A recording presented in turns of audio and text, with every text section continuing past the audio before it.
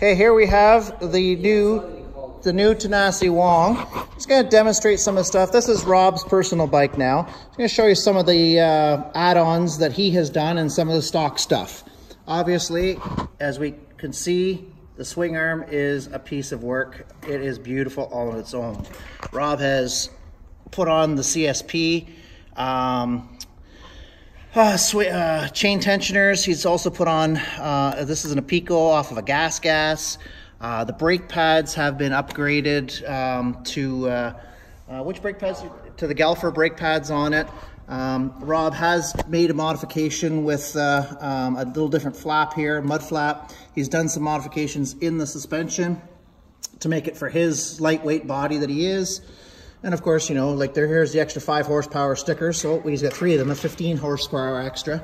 Oh, maybe four, Liqui-Moly. Um, so you'll notice as well, the uh, foot peg, billet aluminum, CSP tip that he's managed to fit on there. You'll notice the brake pedal is actually adjustable. Um, so you've got your different adjustments on it where you can put it to wherever your foot size is gonna fit. It's managed to fit uh, a set of uh, frame guards on here as well, plastic frame guards uh, Apico titanium foot pegs. Uh, Apico, I'm going to turn up this way just because I know you guys are going to hate me. Apico fork leg uh, protection. Um, he's been modifying and figured out a nice little frame uh, uh, rad protector here. We have removed the stock headlight, who rides a trials bike at night. Um, he's gone with the Enduro Engineering um, uh, Barkbuster style here, just simply because we find that the trees hit these. It's a nice open style. The Jitsie levers that fit right in on the uh, AJP calipers, the CSP covers. Again, all that's all extras. Uh, the, the, I think those are CSP adjusters there as well. Jitsie bar pad, he's going with the Pico bars. All this is all just stock off our shelf that fits onto these bikes. You notice this is factory, it's actual real carbon fiber.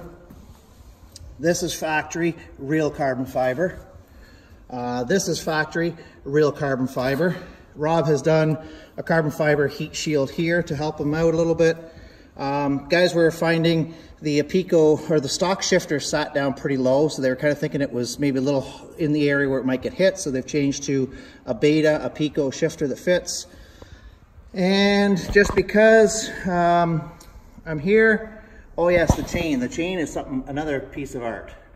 Look at the chain itself too. The chain uh, is hollow uh, in the links, drilled links. And look at the other side of the swing arm. And I'm just gonna fire this up for you just because I know that there's the other video with the sound. But look at that, electric, fuel injected, and Oh, was that ever hard to start? Oh, I'm tired kicking this one over. So there is the new Tenacity Wong 2018 liquid cooled 200cc fuel injected purring away at 82 decibels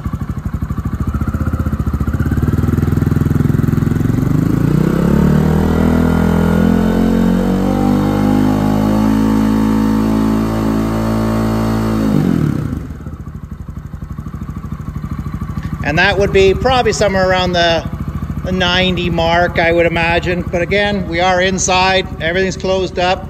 It's too cold outside to run this outside.